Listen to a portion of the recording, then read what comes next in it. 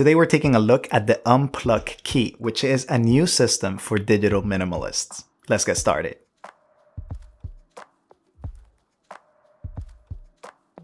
If you're new to the channel, my name is Jose, and here we talk about the digital minimalism. So if that's something that interests you, make sure to subscribe.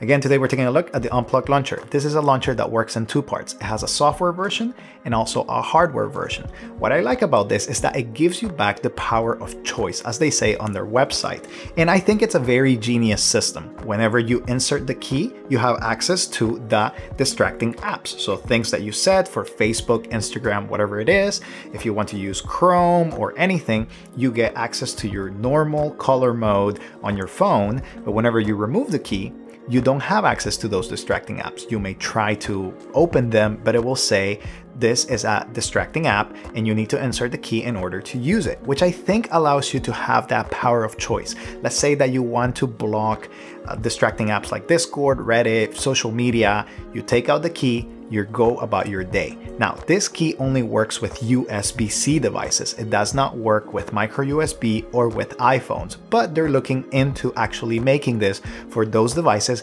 and also for laptops, which I think will be a very, very good idea.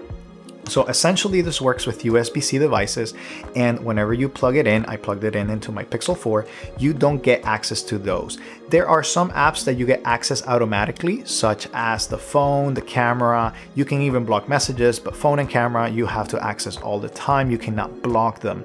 But the actual feature that I like about this specific launcher is that you cannot uninstall it easily, at least if you don't want to. You can put a password protection on the settings, so whenever you disconnect the key, you don't have access to the settings, making it impossible to uninstall the launcher on the fly. Now you can connect it to your computer and things of that nature, but it makes it a little bit harder, which I think it's a very good feature, especially for digital minimalism. Again, the cost of the key is about 30 euros, so about 39 to $40.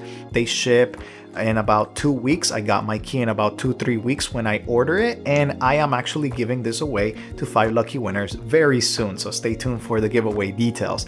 But essentially right here, we have a system that respects your choice and that allows you to decide whenever you want to get off of social media and you don't want to use it, you put this on your keychain and you go about your day using only tools. But whenever you want to access social media or connect with friends through WhatsApp or whatever it is, then you connect the key and you're able to use it again in color mode and in a different aspects. I think this is a very good implementation and it has a good and a high recommendation for me, especially when it comes to launchers. Make sure to see all of the other launchers that I have reviewed and all of the other stuff. If you have any questions about the Unpluq key or anything else, make sure to drop it in the comments. I always engage with you guys. But with nothing else to say, I'll see you in the next one.